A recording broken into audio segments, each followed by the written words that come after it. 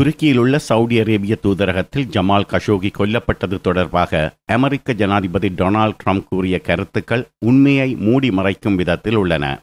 அத்துடன் அவை கேலிக்குரிய விதத்திலும் அமைந்துள்ளன என துருக்கி தெரிவித்துள்ளது.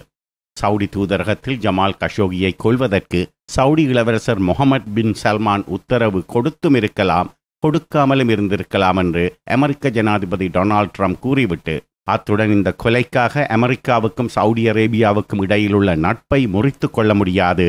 அத்துடன் இந்த இரு நாடுகளுக்கும் இடையிலான வர்த்தகம் எமக்கு மிகவும் முக்கியமானது என்றும் குறிப்பிட்டிருந்தார்.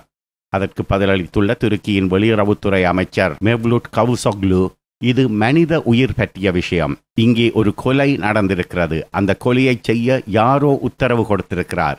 யார் உத்தரவிட்டார் என்ற மர்மத்தை வெளிப்படுத்த வேண்டும். அமெரிக்கா தமது சவுடி அரேபிய வர்த்தகம் பாதிக்கப்படக்கூடாது என்று கூறி குற்றவாளியை மூடி மறைப்பதையோ அல்லது கண்டும் காணாமலும் விட்டுவிடுவதையோ எம்மால் ஏற்றுக்கொள்ள முடியாது. முக்கியமாக இந்த கொலை துருக்கி மண்ணில் நடைபெற்றுள்ளது. எந்த ஒரு கொலையையும் எந்த ஒரு காரணத்துக்காகவும் மூடி மறைக்கக்கூடாது என்பது துருக்கி அரசின் கொள்கை. துருக்கி சட்டத்தின்படி எந்த ஒரு குற்றவாளியும் அவர் எவ்வளவு பெரிய அந்தஸ்தில் இருந்தாலும் தப்பிக்க முடியாது. அமெரிக்க ஜனாதிபதி கருத்து கூறியதன் மூலம் இந்த கொலையை மூடி மறைக்க பார்க்கிறார் என்று கூறியுள்ளார். துருக்கி ஜனாதிபதி எர்டோகனின் ஏகே கட்சியின் துணைத் தலைவர் நுமன் குர்டுல்மஸ் அமெரிக்க ஜனாதிபதியின் கருத்தை கடுமையாக விமர்சித்துள்ளார். அத்துடன் அமெரிக்க ஜனாதிபதியின் கூற்று மிகவும் நகைச்சுவையானது என்றும் தெரிவித்துள்ளார் அவர். அமெரிக்க உளவுத்துறை சிஐஏ ஜமால் கஷோகியின் கொலைக்கு சவுடி இளவரசர் முகமது பின் சல்மான் உத்தரவு கொடுத்திருக்கலாம் என அறிக்கை கொடுத்திருக்கிறது. அமெரிக்க உளவுத்துறைக்கு எவ்வளவு விஷயங்கள் தெரியும் என்பது எமக்கு தெரியும்.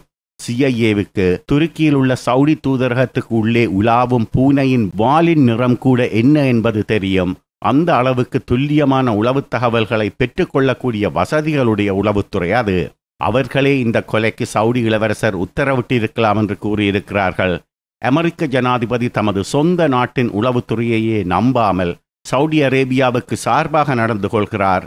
அமெரிக்க ஜனாதிபதியின் இந்த கூற்று அவரது நம்பகத்தன்மையை மட்டுமல்லாது அவரை தேர்ந்தெடுத்த அமெரிக்க மக்களின் நம்பகத்தன்மை மீதே சந்தேகத்தை ஏற்படுத்தும் வகையில் உள்ளது என்றும் கூறியுள்ளார்.